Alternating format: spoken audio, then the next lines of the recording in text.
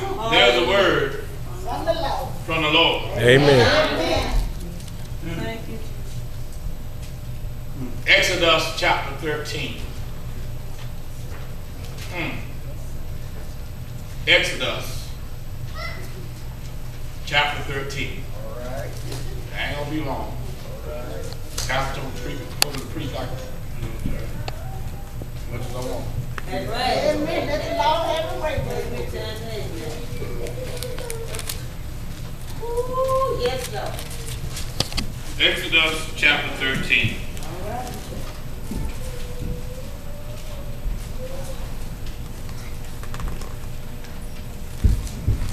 Have say amen.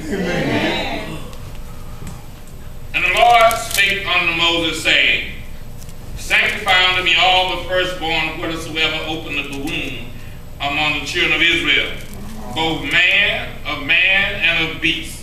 It is mine. And Moses said unto the people, Remember this day in which ye came out from Egypt, out of the house of bondage, from by strength, strength of hand, the Lord brought you out from this place. There shall no leavened bread be eaten.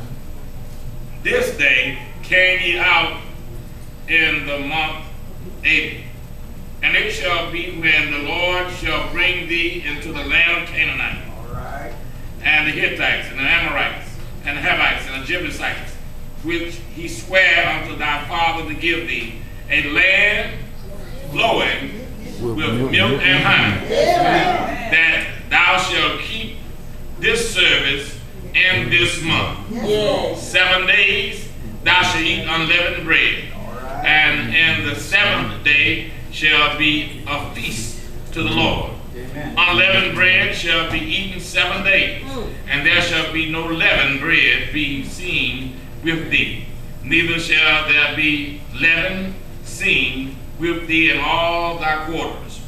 And thou shalt show thy son in that day, saying, This is done because of that which the Lord did unto me when I came forth out of Egypt. Yes. Amen. Amen. You may be seated in the presence of God and his holy angels.